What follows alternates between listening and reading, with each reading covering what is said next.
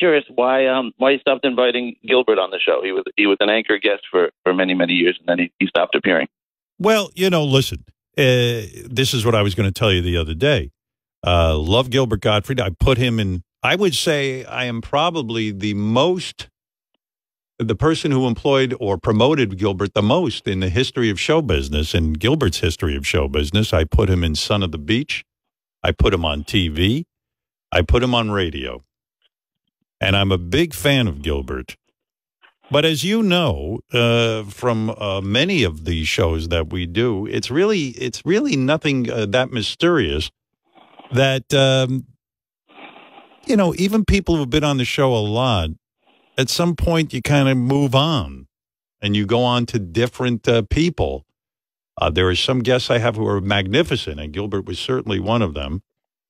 But then after a while, you kind of move on with the show and you go in different directions. So uh, I've seen speculation on the internet that uh, Gilbert was uh, not on the show because he pissed me off or he spit in the cupcakes and this and that. And um, no, I mean, he did spit in the cupcakes, and uh, it was rather gross. And you know what? I, I did. I there, there, was a point where I said maybe we ought to take a break a little bit because this is getting nutty.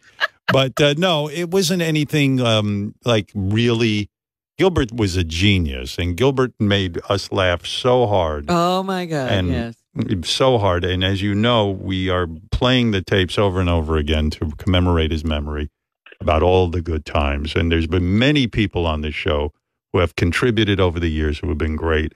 And uh, I always have a fond spot in my heart for Gilbert.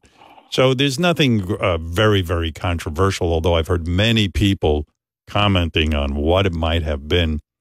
Um, I, I, was so fond of Gilbert. People to carry on about that has is no mystery. It's not really a mystery. You know, I was so fond of Gilbert, and I've rarely done this in my personal life. That when Gilbert got sick, and I don't mean this time around, I mean many years ago when he got sick with appendicitis, and he had to be hospitalized for a really long time because oh, he, he was in there forever, yeah, months.